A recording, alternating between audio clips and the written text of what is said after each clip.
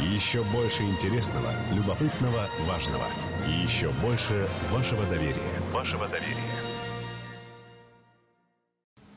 В Доме журналиста имени Зубарева презентовали книгу Анатолия Сазонова «Страницы жизни». Издание представляет собой воспоминания о жизни и быте сургутян и сельских жителей на стыке эпох.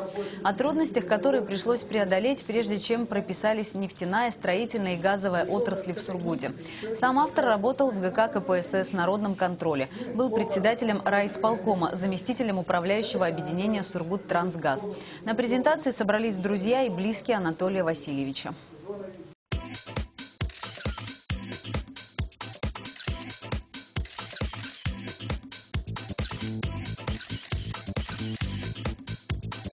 Fashion Collection в модных заведениях твоего города.